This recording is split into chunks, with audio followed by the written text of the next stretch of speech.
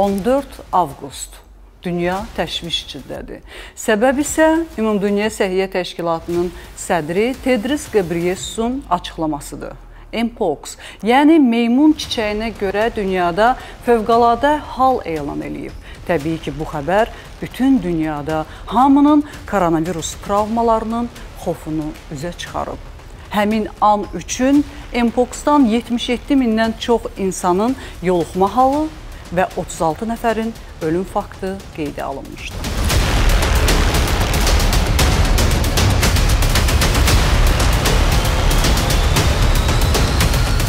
Konqo Respublikası və Afrikanın bir çox ölkələrində Düz 109 ölkədə bu xəbər təsdiqlənir və nəticədə Ümumdünya Səhiyyə Təşkilatının büdcəsindən, fövqəladə hallar üçün nəzərdə tutulan büdcəsindən 1,45 milyon Amerika Birləşmiş dolları ayrılır risk qrupu elan olunur.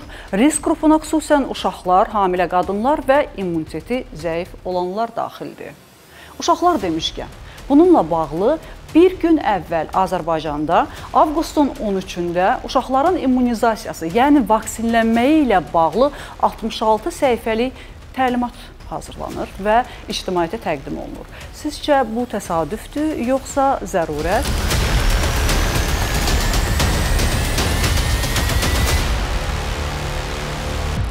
Avqustun 15-dən 18-nə ardarda Pakistan, İsveçrə və eyni zamanda Filippin ölkələrində meymun çiçəyinə yoluxanlar haqqında məlumatları paylaşmağa başladılar. Meymun çiçəyi dünyanın isə bir çox yerlər, ümumiyyətlə mpox nə qədər yayılsa da, o qədər təhlükəli deyil. Avqustun 19-u bu dəfə beynəlxalq Ümumdünya Səhiyyə Təşkilatı bütün dünyadan olan 16 müşavirini və 2 nəfər vacib sədrlərini dəvət edir. Bununla da müşavirə keçirilir. Ümumdünya Səhiyyə Təşkilatının keçirdiyi müşavirədə məlumat verilir. Bu açıqlama məlumatda ümumiyyətlə meymun çiçəyi haqqında kifayət qədər detallı və ətraflı informasiya cəmiyyətə təqdim olunur. Bu informasiyada, bu mətndə diqqətimi çəkən maraqlı bir məqam olub. İstəsəniz Ümumdünya Səhiyyə Təşkilatının səhifəsində bu barədə oxuya bilərsiniz. Amma mənim diqqətimi çəkən nə oldu? Meymun çiçəyi kişilərin bir-biri ilə cinsi əlaqədə olmağından yayılır cümləsi. Səhəri gün avqustun 20-sində Azərbaycan Respublikasının Səhiyyə Nazirinin infeksionisti və mütəxəssis eksperti Təyyar Eyvazov açıqlama verir. O açıqlamasında bildirir ki, meymun çiçəyi və mpox əleyhinə müəyyən testlər və preparatlar ölkəmizə gətirilib. Halbuki bir çox dünyavi mətbuatlarda bildirilirdi ki, meymun çiçəyinin dərmanı yoxdur, onu müalicə eləmək olmur. Amma belə bir açıqlama da verilir ki, su çiçəyi əleyhinə olan peyvənd 85% meymun çiçəyində təsirlidir. Buna görə də məhz ondan istifadə olunur.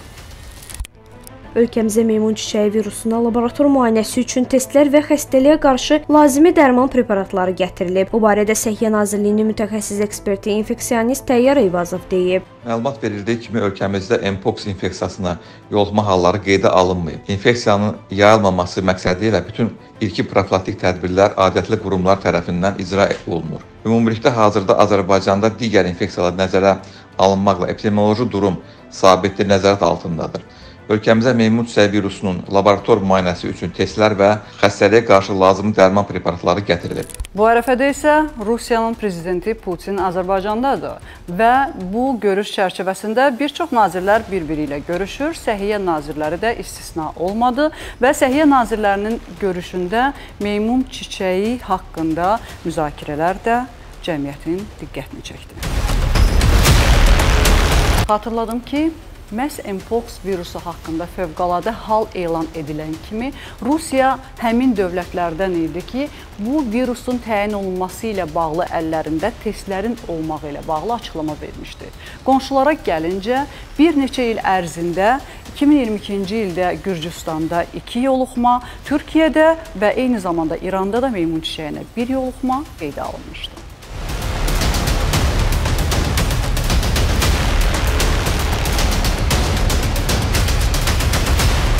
Əvvəldə dediyim kimi koronavirus travmaları insanlarda oyanmağa başlayır, təlaşlar çoxalır.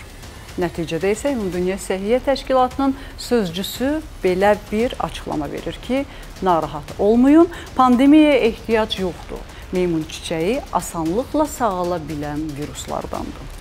Ümumdünya Səhiyyə Təşkilatının sözçüsü Margaret Harris isə açıqlama verərək bildirib ki, meymun çiçəyi ilə mübarizə kütləvi peyvənd əvəzinə virusa yoluxmuş ərazilərdə məqsədli peyvənd edilməlidir. Şimali Avropa, Amerika Birləşmiş Ştatları və Yaponiyanın kifayət qədər vaksin tədarükü mövcuddur. Buna görə də biz hazırda həmin ehtiyatları lazım olan yerə çatdırmaq üçün çalışırıq. Mpox aktiv virusdur. Kimin xəstə olduğunu bildiyiniz və təcrid tədbirlərinə əməl etdiyiniz müddətcə onu asanlıqla dayandırmaq olar var. Buna görə də epidemiya elan etməyə ehtiyac yoxdur deyə Ümumdünya Səhiyyə Təşkilatının sözçüsü qeyd edib. Avqustun 22-si Azərbaycan Respublika Səhiyyə Nazirliyi öz rəsmi saytında meymun çiçəyi ilə bağlı maarifləndirici məqalə yayımlayır və burada ümumiyyətlə meymun çiçəyi nədən yoluxur, simptomları nədir, necə müalicə olunur və özümüzü ondan necə qorumalıyıq kimi suallarının cavabını verir.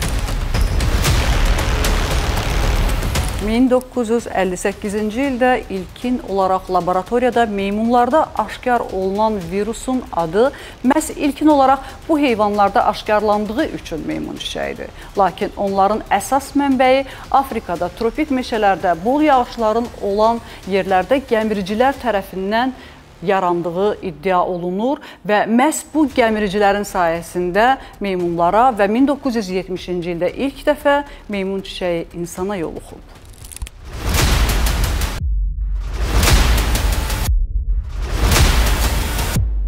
Konqo Respublikasının vətəndaşında aşkar olunandan sonra meymun çiçəyi uzun illər endemik xəstəlik olub. Yəni müəyyən bir əraziyə xas olan xəstəlik. Bəs nə oldu ki, son 10 il ərzində dünyanın hər yerindən bu xəstəliyin simptomlarının səs-sorağı gəlməyə başladı?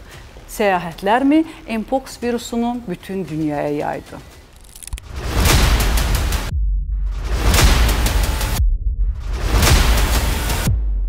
Əlbəttə yaxşı olardı ki, meymun çiçəyi ilə bağlı mütəxəssisin öz dilindən də maraqlı və faydalı məqamları dinləyək. Buna görə də Səhiyyə Nazirliyinin mütəxəssis eksperti infeksionist Təyyar Eyvazova dinləyəcəyik. İnfeksionist qeyd edib ki, virusun gizli dövrü adətən 5-21 gün arasıdır. 5-ci günədək davam edə bilən başlanğıc dövrdə qızdırma, şiddətli baş ağrısı, limfa düyünlərinin böyüməsi, bel və əzələ ağrıları, bəzən karatal və mədə bağırsaq əlamətləri də rast gəlir. Qızdırmadan 1-3 gün sonra təbii çiçəyin xatırladan xarakterik qovucuqlu səpkilər yaranır. Təyyar Eyvazov əlavə edib ki, meymun çiçəyi virusuna qarşı vaksinə gəldikdə vaksinlər az miqdarda istehsal olunur və yalnız bu virusa endemik ölkələrə paylanılır. Virusun ötürülməsi xəstə heyvan, insan və ya virusla çirklənmiş materiallarla təmas yolu ilə baş verir. Viruslar bədənə zədələnmiş dəri, nəfəs yolları və ya çeşidli qışarlarla ağız, burun, göz daxil olur. Heyvanlardan insanlara ötürülmə, dişləmə, cırmaqlama, ov ətinin yeyilməsi, bədən mayeləri birbaşa və yarı materialları ilə dolayı yolla baş verir. İnfeksiyanın profilaktikası qeyri-spesifik, qoruyucu gigiyenik qaydalara əməl olunması və spesifik vaksinasiya tədbirlərindən ibarətdir. Əsas məqamlardan biri də xəstənin vaxtında aşkar olunması və təcrid edilməsidir. Qeyd edək ki, hava limanları və digər dövlət sərhədindən buraxılış məntəqələrində meymun çiçəyi virusunun ölkə sərhədindən sirayət etməsinin qarşısının alınması istiqamətində Dövlət Gömrük Komitəsi tərəfindən bir sıra tədbirlər həyata keçirilir. Sosial şəbəkə fenomeni artıq dünyamızda hamımızın daim vaxt keçirdiyimiz yerdir. Təbii ki, Mpox virusu haqqında xəbərlər yayıldıqdan sonra bütün sosial şəbəkələrdə #mpox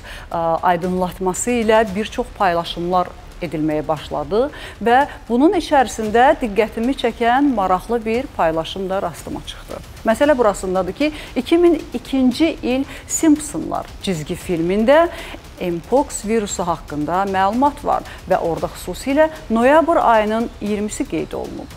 Baxaq görək noyabrda meymun çiçəyi haqqında nə olacaq? Bunu yadımızda saxlayaq.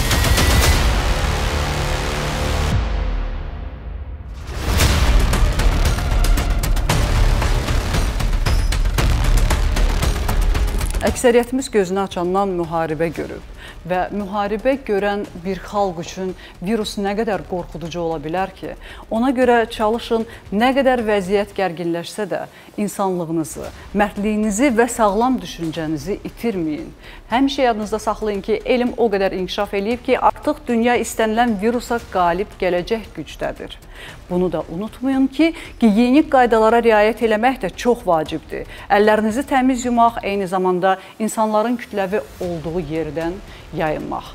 Təşvişi aradan qaldırmaq üçün isə təbii ki, sonda sizə məhz bu narahatlıq hissindən qurtulmaq üçün çox maraqlı üsullar təqdim edirik. Hazırda dünyada tüğyan edən fərqli və təhlükəli viruslar insanlarda daimi təşviş yaradır. Periodik, yəni təkrarlanan qorxu və narahatlıq hissi qeyri-müəyyənliyi olan adekvat reaksiyadır. Bu halda necə mübarizə aparmalıyıq? Amerika Təşviş və Depressiya Assosiasiyasının bu vəziyyətlə mübarizə üçün əsas şüarı belədir: Müqavimət göstərdiyimiz düşüncələr yaddaşımıza həkk olur. Yəni təşviş hissi gəldiyi zaman onu dəf etmək üçün çalışanda bir o qədər dərin narahatlığa bürünürük. Bunun əvəzinə əvəzinə qeyri-müəyyən situasiyadan qorxuram və buna görə də təşviş hissi keçirməyim normaldır. Fikrinə gəlmək lazımdır. Bu hiss bir müddət sonra keçəcək, çünki mən problemin həlli istiqamətində çalışmağa başlayacağam deyə düşünəndə həm mövcud hiss bloklanmadan yaşanır, həm də beyin situativ vəziyyətin həllinə yönəlir. Bundan əlavə, araşdırmalar təşvişi biri ilə paylaşmağın təklikdə yaşamamağında xeyirli olduğunu vurğulayır. Daha bir üsul isə indini yaşamaq cəhdidir. Məsələn, özümüzə harda olduğumuzu, nə etdiyimizi, həmin gün havanın necə olduğunu, tox olduğumuzu, istədiyimiz zaman su içə biləcəyimizi səsli şəkildə deyirik. Gələcəkdə olan hal üçün narahatlıqdan çıxmağın ən yaxşı üsullarından biri də indinin təhlükəsiz olduğunu özünüzə sözlə, səsli xatırlatmaqdır. Ürək döyüntüləriniz intensivləşirsə, bunu musiqi kimi qəbul edib dinlədikcə tədricən ritmin səngidiyinin də şahidi olacaqsınız. Açıq havada olmaq və və su içmək, su ilə əl-üz yumaq fenomenləri də təşvişi səngidir. Qapalı mühitdəsinizsə açıq havaya çıxın, dərindən 5 dəfə fasiləli nəfəs alın. Havaya çıxmaq ehtimalı yoxdursa, əllərinizi, üzünüzü, xüsusilə alın və boyun hissənizi ilıq su ilə yuyun. Suya toxunmaq da alınmırsa, bir neçə dəfə ayaq üstündə oturub qalxmaq kimi hərəkətlərini etmək, ümumiyyətlə hər hansı bir hərəkəti təkrarlamaq təşviş hissini azaldır. Ümid eləyirik ki, dünyamız, ölkəmiz viruslardan daim qorunacaq qədər sağlam düşüncəli və eyni zamanda da güclü olacaq.